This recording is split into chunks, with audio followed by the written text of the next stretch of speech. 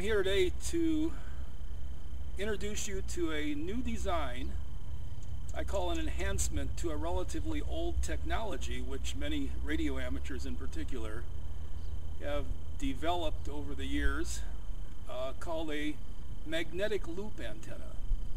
The main difference between the enhancement to the antenna, which I call a HL magnetic loop, or standing for helically wound or helically loaded magnetic loop, is the fact that this loop is about 40 to 50% smaller in diameter and seems to achieve the same efficiency and operation characteristics as a loop that you see here that is six foot in diameter which would have to be about 15 foot in diameter to produce the results it's producing on both 80 and 40 meter bands.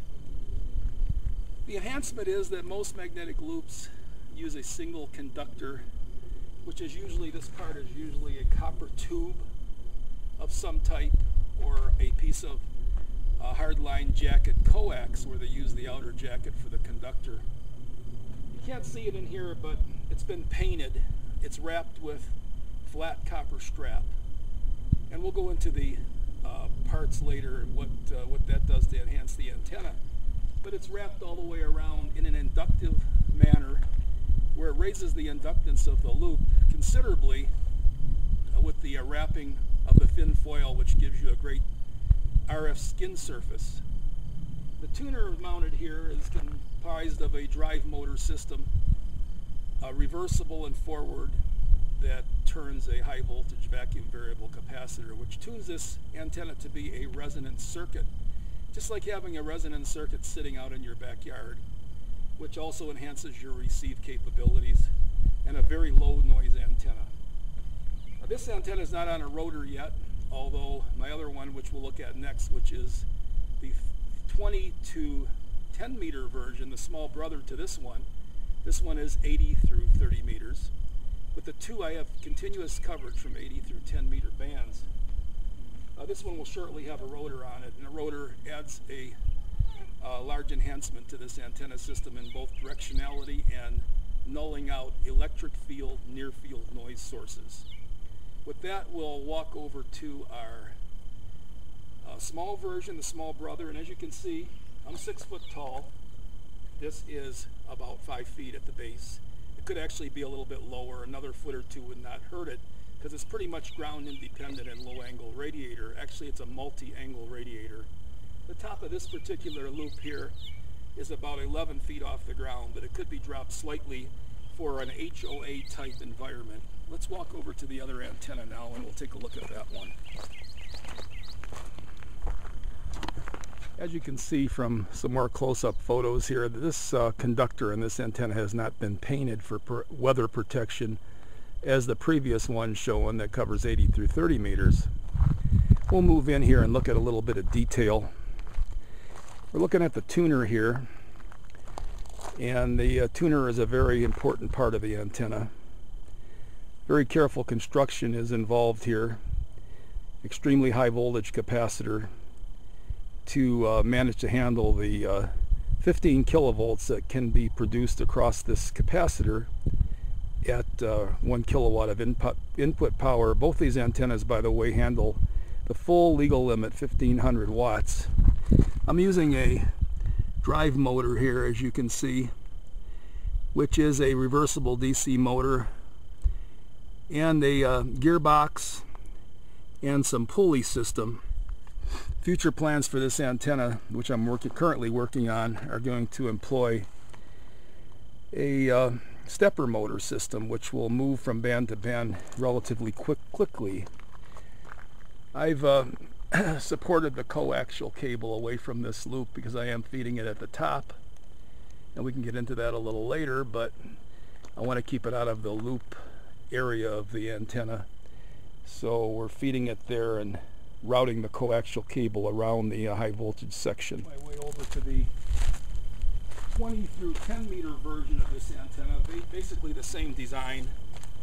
This one's on a rotator, which uh, really enhances the operation of this antenna. This antenna is only 33 inches in diameter from here to here in this octagonal shape. and it's got it employs the same type of a tuning system with a high voltage capacitor and a uh, remote controlled motor system which I'm going to change to a stepper motor system shortly uh, for ease of changing bands and many other reasons but this one you can see the actual uh, copper foil design as it hasn't been painted yet for protection. Uh, there's pictures available, photos of the other one before it was painted. And from here we'll go into and we'll show some operations of these antennas. Excuse my sunglasses here. I'm in the hot Arizona sun. It's very uncomfortable and uh, very difficult to uh, film this today, but uh, you're going to see some uh, great uh, resolution pictures with the sunlight. And we'll walk over here and we will uh, go inside and observe these antennas. The following demonstration relates to the 80 through 30 meter version showing out in the yard in the antenna farm. I'm going to attempt to make a contact uh, with the 40 meter version and just to give you a demonstration of switching antennas I'm going to use a 390 foot off-center fed doublet antenna which is 2.8 full wavelengths long so has considerable amount of gain in certain directions on 40 meters It'll give you an idea uh, when we get a station on board and we switch antennas of how just how good this six foot diameter magnetic loop, my helically loaded loop works. Thank you, Don. You got a good signal up here, 73, so Echo 7 Kilo Italy in Chewelah, Washington. Uh, QRZ to the uh, Mobile station. Wonder if you're copying Kilo 8 November Delta Sierra K8NDS Northern Arizona. Hey, you're 59, uh, reviewable copy, uh, Pete, uh, NDS 86 GE, my name is Don. Yeah, was that Don, uh, Delta Oscar November? Okay, Don, I still didn't get your call. I'm kind of messing around here, and it's my fault. You're as clear as can be. You're S9 plus 10, sometimes peaking a little over that, a fantastic mobile signal here in Cottonwood, Arizona, located about 100 miles north of Phoenix. Uh, uh, give me your call one more time, please, Don, and I'll get it down this time. Uh, thank you. What was your name? Uh, Rich, Radio India Charlie Hotel. Okay, Rich. It's uh, Alpha Alpha 6 Golf Echo AA6GE, uh, okay. Oh, very good. How's my signal there in the mobile, Don? Uh, boy, you got a beautiful mobile signal there. Are you running some power? Yeah, mighty 100 watts, 100 watts. Hey, you're about, I guess, 10 over or 15 over. You're really rocking in here. Very good. Very good. I got a couple antennas I'd like to try if you got a second. Would you mind if I flipped over to a different one to see uh, what the uh, difference is? Oh, go ahead. You're about 18 dBs over. Okay, now I'm on a different antenna, same power, running one kilowatt here, Don. Uh, different antenna. Uh, you see any difference? Yeah, it's weaker. Put the other one back on. Well, that's what I wanted to hear, Don. Very good.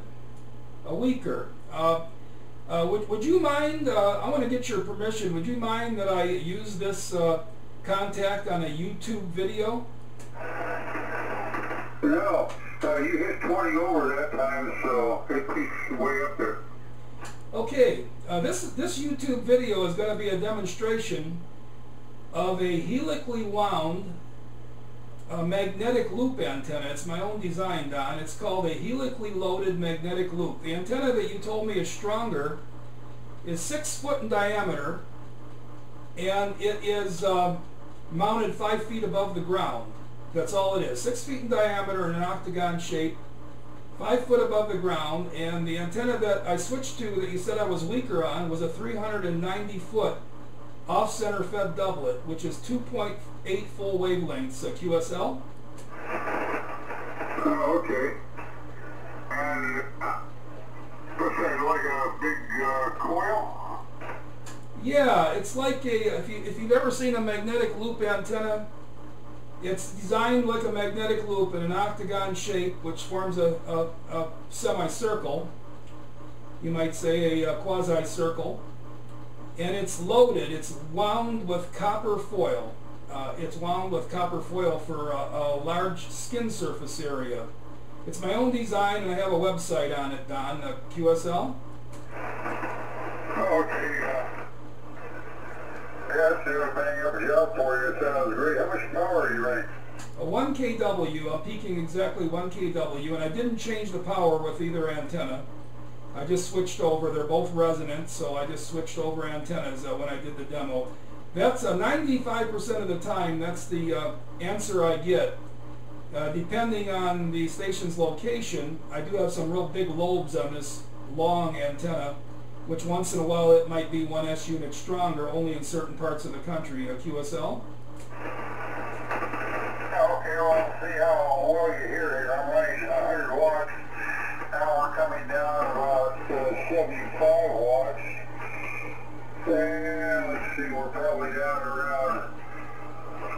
little 50.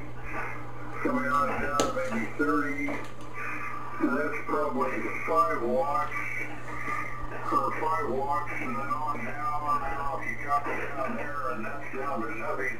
Now we're coming back up, uh, and there's a full 100 watts. Uh, uh, how much could you copy?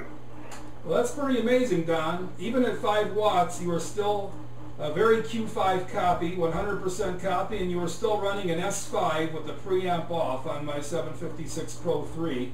My noise level with this antenna is absolutely zero as far as the S meter shows. It lays right on the pin, so even at 5 S units, you are completely Q5 with 5 watts. Go ahead. Okay, real good. We're running a big custom, uh, big, Marine Corps IQ uh, vertical that's not quite six inches in diameter, five and a half, and a little over a foot. Top, uh, we've customized it, done some work on the uh, top uh, arrangements, and picked up another 2 dB or so. So it uh, works pretty well for us. I'm real happy. Okay, stand by one second, Don. I'm going to shut this camera off so I don't get a long extended video and have to do too much editing, but I've got a website on hlmagneticloops.com and it's available on my QRZ site. So you go to qrz.com, type in Kilo 8 November Delta Sierra, and there's a link on there that you can take to my webpage, again, which is hlmagneticloops.com. And we're going to put you on the website, Don, as a demonstration of this antenna. And uh, I'm going to shut the camera off. I'll be right back. K8NDS. Hello again. Uh, just to wrap this up, uh, for further information on build techniques and uh, parts availability and detailed instructions on how to build one of these HL magnetic loops for your own amateur radio station, please visit my website at hlmagneticloops.com. It can be accessed easily from my qrz.com page. Go to qrz.com and look up Kilo 8 November Delta Sierra K8NDS in Cottonwood, Arizona and you'll see an active link to hlmagneticloops.com. I hope you enjoyed this video today. Uh, this presentation was put together offering this great antenna system for uh, homeowners restricted operators, HOA restricted operations. Very small footprint antennas, which if you put together a system like I have, you can cover 80 through 10 meter bands with very, very good performance in a very small area without having to erect a large tower and a beam antenna and I think you'll be quite surprised at the performance you get from these antennas. Thank you very much and I will be posting further YouTube videos. Thank you for visiting. K8NDS signing off. See you later.